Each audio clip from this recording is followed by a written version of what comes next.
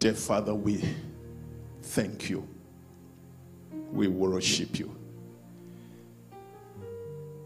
You are our God.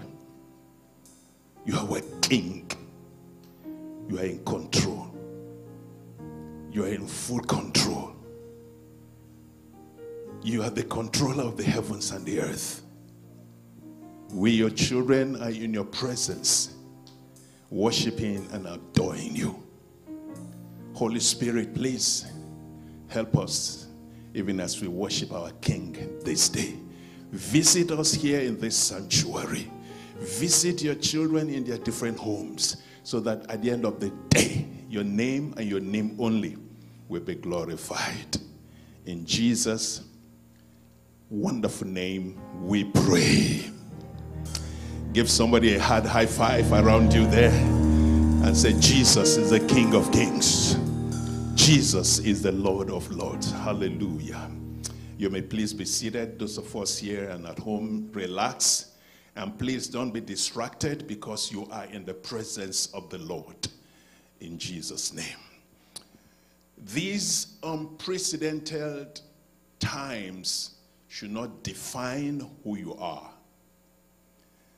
These unprecedented times should not press you down or discourage you because sooner than later the storm will be over and the church that is you will be the beneficiary of all this because the storm water that destroyed the then world was the same storm water that elevated Noah and his family.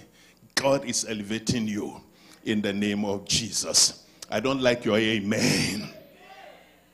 I'll be taking my Bible reading for the sermon of this morning from Hebrews chapter 2 and verse 3. Hebrews 2 and verse 3.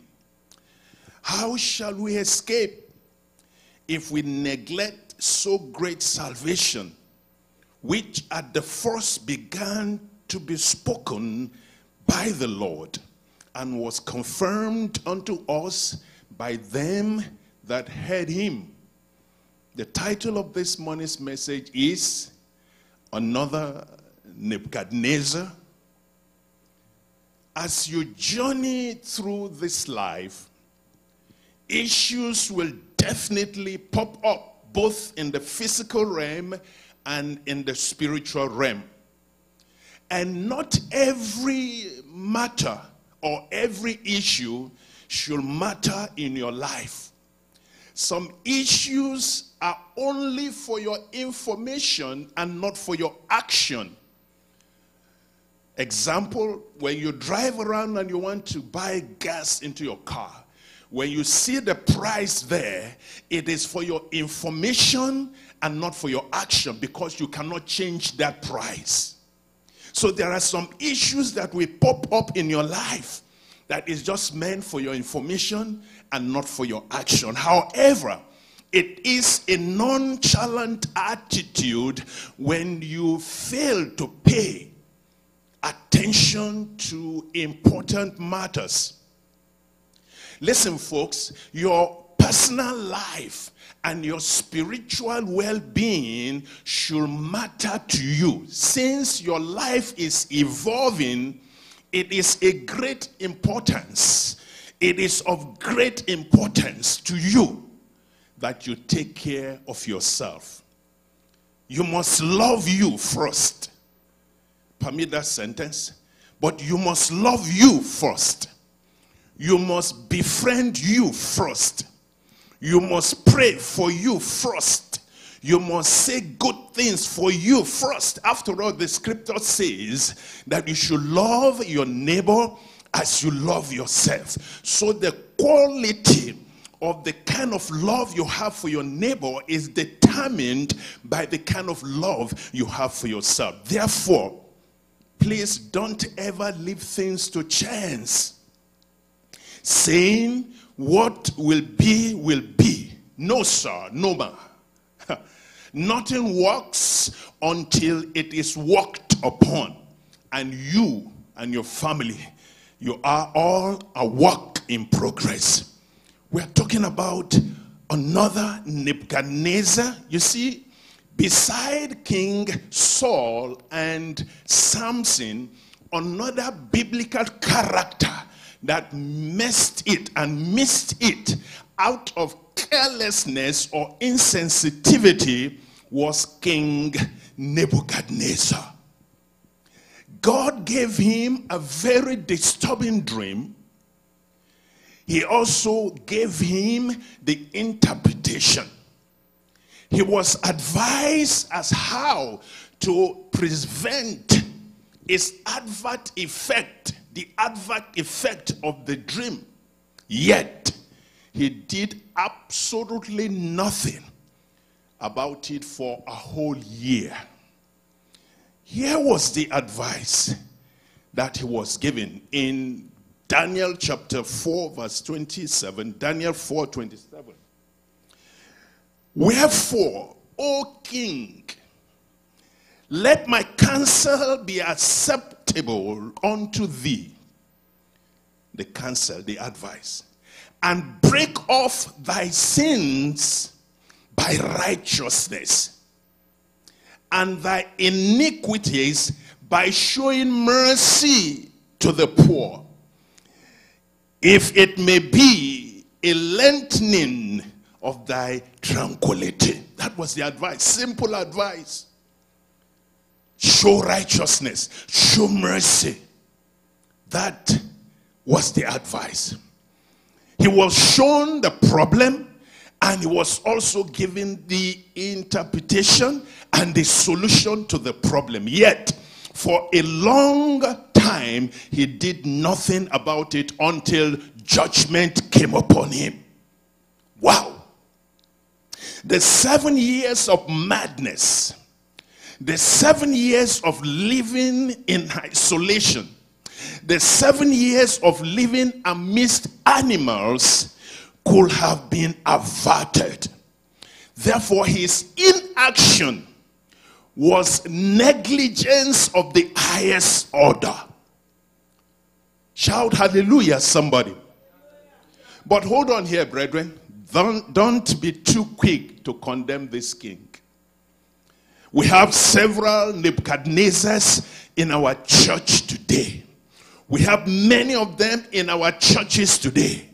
In Micah chapter 6 and verse 8, Micah 6 verse 8, he has shown thee, O man, O woman, what is good and what does the Lord require of thee? but to do justly and to love mercy, just like Nebuchadnezzar, righteousness and mercy. And the Bible is talking to you, the Word of God is talking to you that you should do justly, righteously, and to love mercy, and to walk humbly with thy God. How many times have you heard it, brother? How many times have you heard it, sister? That it is good to be good. How many times have you heard it, sister? How many times have you heard it, brother? That to do justly and to show mercy is beneficial. How many times have you heard it? How many times have you been told about how to relate with your wife and children? Yet, you still do things the way you like because you proclaim that you are the head of your family. You can do what you like, you can go where you like without considering your family. Okay, madam. How many times have you heard that you should submit to your husband? And yet you are doing things your own way. Another Nebuchadnezzar. James 4 verse 17. James 4 verse 17. Therefore, what is it therefore? To him that knoweth to do good and doeth it not, to him it is sin. Please don't neglect anything that will add value to your life. Do not neglect anything that will add value to your family. You are special and unique. A beacon meant to illuminate, to illuminate and to inspire. Shout hallelujah, somebody. The world is waiting for your glorious manifestation because you have something to offer. Therefore, don't allow anything or anyone to relegate you to the background. You are too smart to be ignored. Put your hands together and say, John you are too smart to be ignored. You are too knowledgeable to be pushed to the corner. Hallelujah. You are too smart to be pushed to the corner. You are too knowledgeable to be ignored. So don't allow anyone to push you to the background because your ebony skin color makes you stand out. You are an integral part of this world. You matter in the affairs of this life. You have a portion in this life. Look at what God said in Psalm 116, verse uh, 115 and verse 16. Psalm 115 and verse 16. It says, The heaven, even the heavens are the Lord's, but the earth has He given to the children of men. You are part of the earth. Part of the earth belongs to you. But you must do something. You must do something. Because you do not have a spare life the life you are living right now, right now, this Sunday morning of August 2020, it is the life, the only life you have. You don't have a spare life. Hmm. You don't have a spare life. You must do something with your life. You have a part to play in your success story. Why not move right now and do something? We are still talking about another Nebuchadnezzar? Very likely. This king called Nebu or Nebuchadnezzar in full was always saying, mm, I will get it done tomorrow. I will get it done tomorrow. And when tomorrow shows up, when tomorrow becomes the present day, mm, I will get it done tomorrow. He was doing it until a whole year was over. God was waiting for him. Heavens were waiting for him. Yet he did absolutely nothing. Until a whole year was over. Look up, brother. Look up, my sister. You can be likened to another Nebuchadnezzar if you are a procrastinator. Procrastination is often said to be a thief of time. You don't leave. You don't leave what you ought to do today until tomorrow. Hmm. Because you don't know what tomorrow holds. As we go on, I'll tell you a story of a member of this church. You see, brother, my sister, people of God, Success come, becomes an uphill task if you live your life procrastinating. I will get it done later. Sweep the floor. I will get it, I will get it done later. Why not cook the food? Uh, I will cook later. I will sort it out later. It is always later. It is always tomorrow. It is always later. It is always tomorrow. You are a lazy person. Get up and do something about your life. A lot of us have procrastinated to the point that laudable ventures, laudable advantages, laudable opportunities had eluded you because it has always been here. I will call them tomorrow. I will send the resume tomorrow. I will sign on for that training tomorrow. I will update my resume tomorrow. I will do it tomorrow. And when tomorrow shows up, let me tell you, brother, there is another tomorrow. But as you are allowing today to become tomorrow, tomorrow you are eating off your time because the Bible says everything is about time and chances. I pray for you. I pray for you that may the Lord grant you the second time to make amends to your ways. I pray for you that the years that the cankerworms have eaten, the years that the caterpillars have destroyed, the years that the palmer worms have eaten up, God will restore back to you. But you must move. Let tell somebody beside you, come on, move, move, move, move, move. Jesus Christ constrained his disciples to move to the other side. I pray that the Holy Spirit will constrain you, the Holy Spirit will move you to the next level in the name of Jesus. Put those hands together and say, Pastor, I am moving. I am moving. I am moving. I am moving. Another Nebuchadnezzar. Remember, brother, as you journey through this life, that you have a part to play, and God has a role to play also.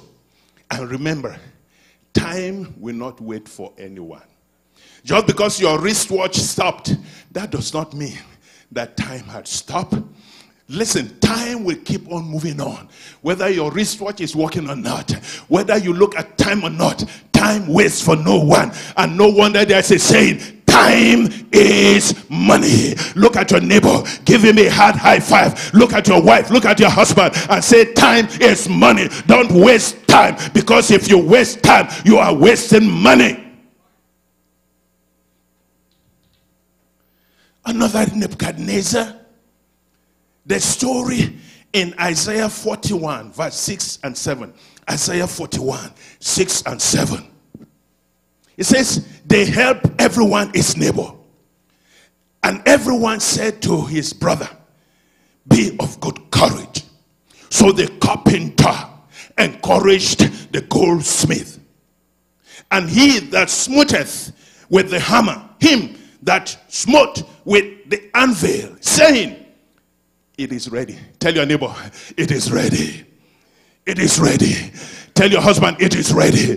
Tell your wife it is ready. Tell your children it is ready. It is ready. It is ready now. It is ready. It is ready. They were saying now it is ready. This is the time. It is ready for the soldering. It is ready to bind together. It is ready to move. It is ready to start the business. The time is now. The time is set. They said it is ready for the soldering. And he fasteneth it with nails that it should not be moved. The reason you have been moved is because you have been saying tomorrow, tomorrow. I will, I would, I know I'll do it later, later. I'll sort it out later. It has always been later. That's why you have been moved. The reason King Nebuchadnezzar ended up in the jungle, living amongst animals, was because he did not play his part. The building of the boat or the boat or the ship or the ark by Noah was an act of faith because up till that, that time there had never been any rainfall. Yet Noah followed the measurements as instructed by the Lord. Where to put the window, where to put the doors.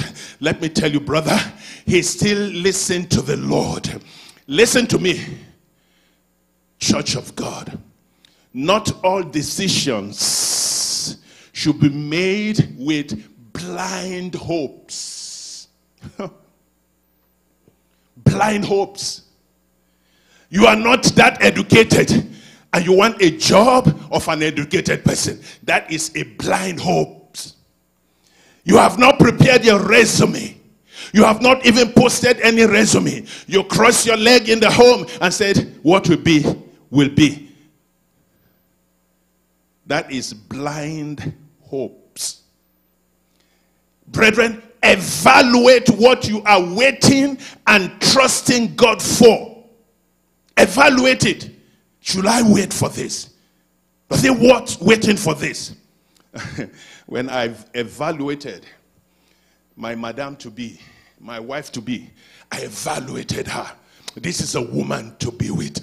This is a woman to live with. This is the will of God for me. This is a personality that I will love to spend my entire life with. I evaluated her. I sized her out. I found out this is a godly piece of greatness that God have blessed me with. I will wait. I will wait. I will wait. I waited for one, two, three, four, five years, and I was still ready to wait. You better evaluate what you are waiting for. You better evaluate what you are hoping for. If it's worth it, wait for it. For the vision, is for an appointed time. Though it tarries, eh, wait for it. Eh, it will surely come. Eh. It will not lie. It will surely come. Keep on waiting. For they that wait upon the Lord shall renew their strength. They shall mount up with wings like eagles. They shall run and not be weary. They shall run and not be weary. You will not be weary. Keep on waiting. If you evaluate it that this is the will of God for you, it will surely come. It will not delay. Another Nebuchadnezzar. Mary's pregnancy, I mean, Mary the Virgin in the Bible, her pregnancy was a miracle, but she still have to carry that pregnancy for nine months, like any other pregnancy.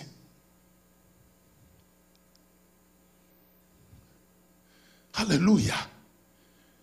God's plan does not negate the process of time. That's why I want to employ you, brother. I want to employ you, sister. Walk. What did I say? Walk before you start to run. Walk before you start to run. When I arrived at this, this America, I was sleeping on the floor with a blown mattress. I don't know what happens, but before the morning, both the mattress and I were flat on the floor. I was counting the time because I knew then that this is where God wants me to be. Don't jump into that marriage without evaluating it. Don't jump into that man or that woman. Evaluate her. Find out if she's the will of God for you. Find out if he's the will of God for you. Don't just jump from one business to the other. Do not jump from one city to the other. Evaluate it. Is this what the Lord wants me to do at this time?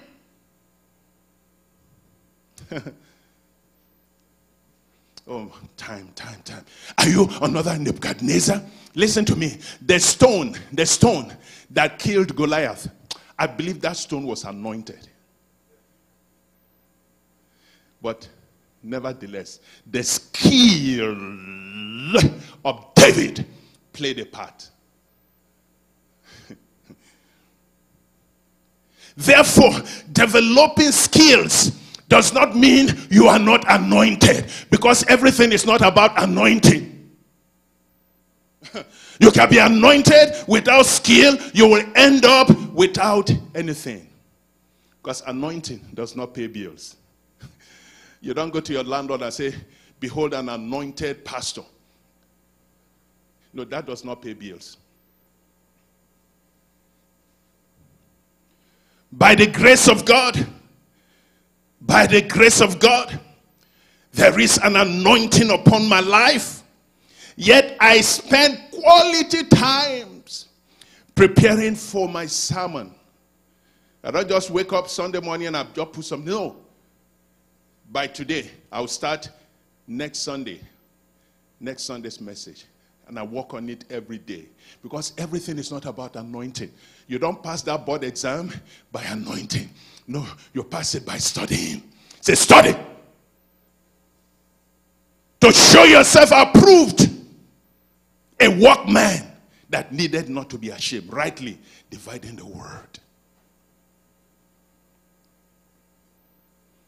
I still spend time. Holy Spirit, help me convey this message to the people. Help me distribute this message to the people. No wonder some of you will call and say, Pastor, that message was for me. I don't know what you were going through, but the Holy Ghost knows exactly what you're going through, and He has met you at the point of your knees, like it's meeting you right now at the point of your knees. Put those hands together and say, Holy Ghost, let me have the portion of this word this morning. Another Nebuchadnezzar. Prophet Eli messed up because he just couldn't control or train his children. You missed out if you did not attend today's Sunday school. I went through one class and I went through another class. The elders class that I be, that the elders class the elders class was very bubbly. They were very, very, very active. As the teacher was teaching, you'll be hearing yes, aha, yes, very active. Old people, your life will be sweet to the last drop. Young people, you will be old and aged also. Let somebody shout, Amen. Eli did not train his children well and they were messing up, and God sent a judgmental message to him. 1 Samuel 3, verse 13, from verse 13. 1 Samuel 3, from verse 13. For I have told him, God was telling Sam, Samuel, I have told him that I will judge his house forever for the iniquity which he knoweth, because his son made themselves vile. And he restrained them not.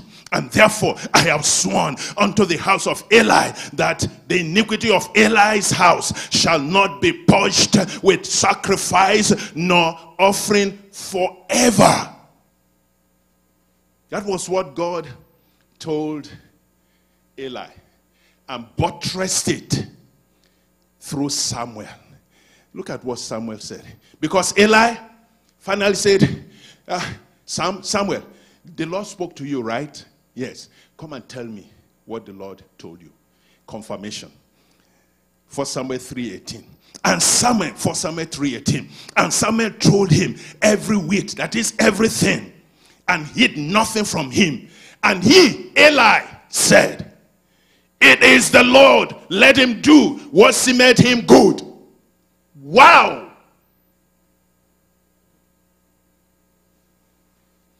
Instead of falling down on his face and say god tender justice with mercy. You say ah, is that is that because samuel had just, was just trying to hide it. He said is this what you're hiding from me? He's the lord. Let him do what he likes. No wonder like nebuchadnezzar eli like nebuchadnezzar did absolutely nothing. No wonder he died. His two sons died. His grand, I mean, his daughter-in-law died the same day. Brother, sister, don't abandon that vision because of challenges that you are facing with. You are faced with. Do something. Don't abandon that business idea. Don't, don't put it on the shelf. Nothing good comes easy. Work on it. Keep on working on it. That's exactly what Isaiah 28 and verse 10. Isaiah 28 10. It says, For precept must be upon precept, precept upon precept, line upon line, line upon line. Here a little and there a little. Don't just put that idea on the shelf. Say, oh, tomorrow I work on it. You say, add something to it. Every day, work on that business idea. Do some feasibility studies. Check out those who have done or are doing what you want to do so that you don't reinvent the wheel. Those that have gone through the classes or this, the, the, the, the course you want to go, ask them. Mommy, Pastor, I heard that you've done this before. Can you help me? Daddy, Pastor, I heard that you were a tailor before. Can you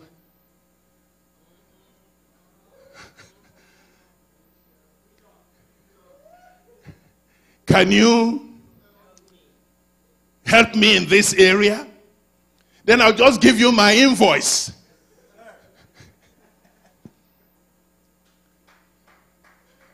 no, I'm just teasing you. I will tell you what I know. I will tell you what I know. Brother, sister, trust me. You can do more for your life. You can do more for your family you can create a unique atmosphere of peace and tranquility in your home, in your marriage. Don't be the boogeyman. Don't be the bully man. Don't be the boogie woman. Don't be the bully woman. You can create an atmosphere of peace and tranquility. Another Nebuchadnezzar. Don't be happy and say, I'm a, I'm a bass man, I'm a drummer, I'm a keyboardist, I'm an usher, I'm a nurse, I'm a this, I'm a that. David, like our David here, was a shepherd boy. Yet, he was also a musician. He was also a sling shooter. And he was also a man of war. So you can multitask. Tell your neighbor, you can multitask. You can add value to your life by adding value to your resume. You can add value to your life by adding value to your marital relationship. Don't procrastinate. I called a pastor friend of mine the other day. And immediately got the call. He said, Wow, Pastor, I had wanted to call you, but you have beaten me to it. He now said, That is why procrastinating is not good. Don't procrastinate, otherwise, people will always beat you to it. Take advantage of that opportunity and don't allow anyone to beat you to it. Pharaoh had a disturbing dream. And Joe, Joseph showed up and told him, This dream, this is the devastating result, but this is the good answer.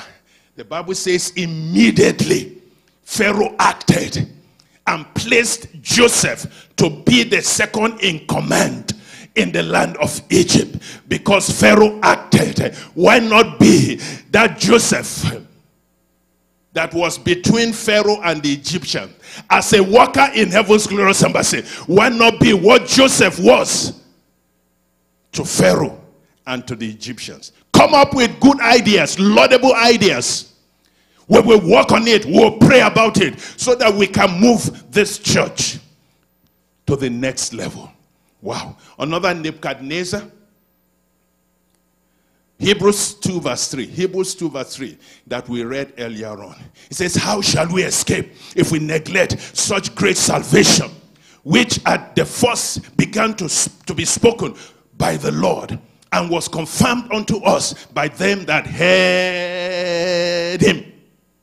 So many people have the knowledge of salvation, yet they are not doing anything about it. So many people know uh, that there is a heaven and there is a hell, and yet uh, they don't care.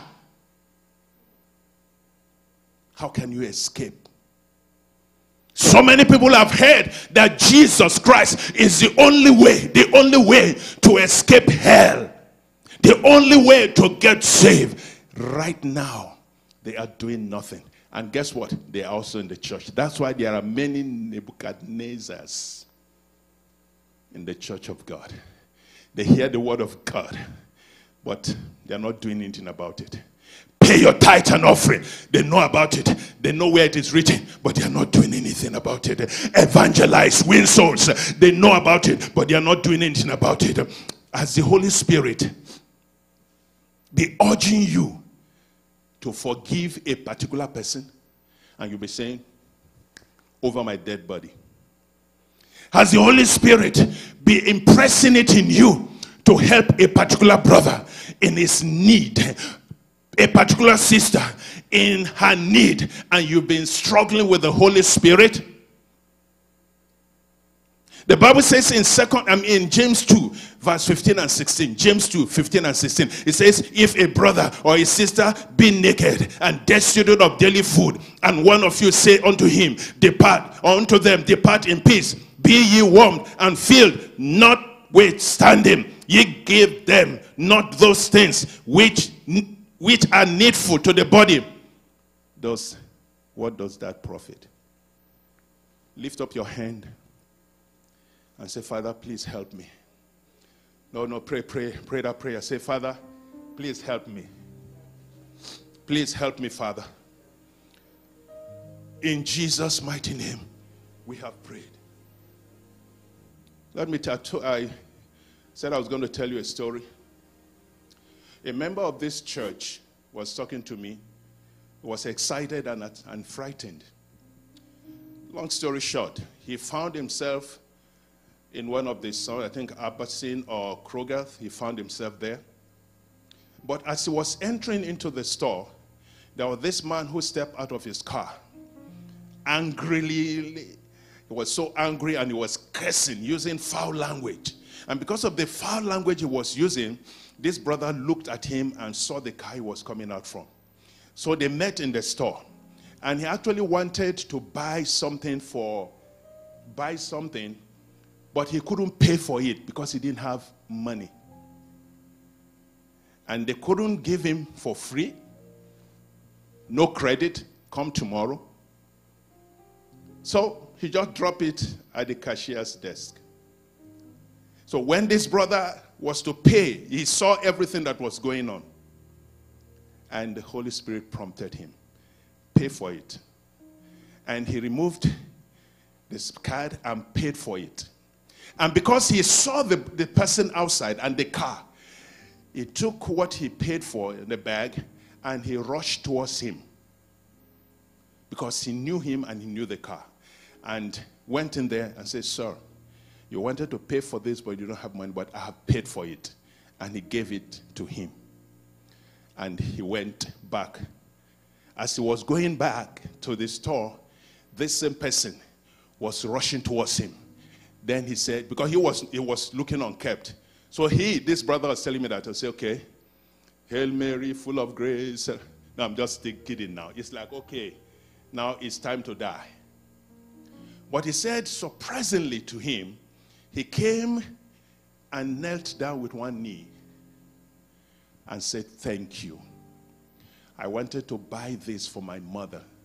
She needed it, but I didn't have money to buy it for my mother. And I entered the car and I said, That is the end of story. I'm going to kill myself. But you brought this. He was shedding tears, crying. And everybody that was passing by were just looking at them.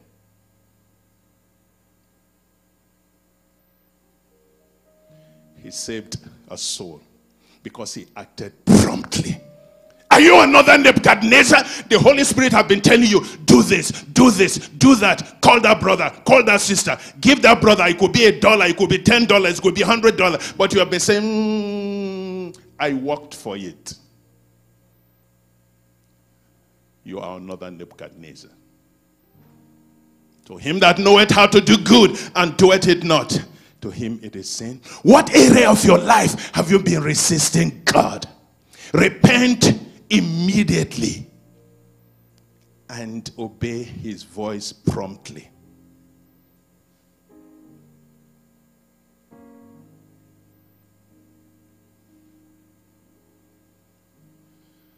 What area have you been disobeying God? Oh, I, I, will do it tomorrow. Yeah, I'll do it tomorrow. No, I'll sort it out later. Trust me. Why is it always tomorrow? The Bible says now, today is the day of salvation. Tomorrow may be too late. It's always, I will do it again. I will do it. He said, How can you escape if you neglect such a great salvation? Shall rise.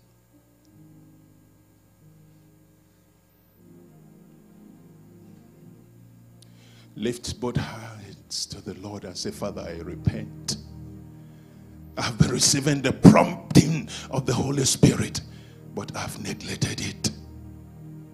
The Holy Spirit have been prompting me, telling me to do this, to do that, but I've always postponed it. I'll get it done. I'll get it done. I'll get it done. Start that business, I'll get it done. Oh, don't eat, don't eat, don't eat it. Mm, okay, let me eat this one tomorrow. Some of you, you know, you shouldn't be drinking soda, but you said Jesus turned water to wine.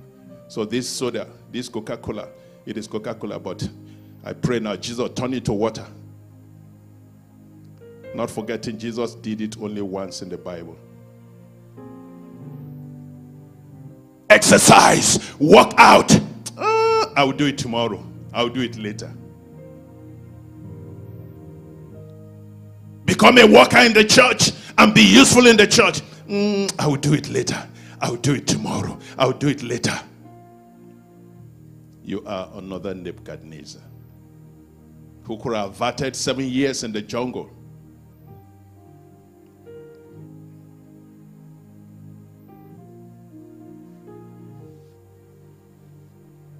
Thank you, Jesus.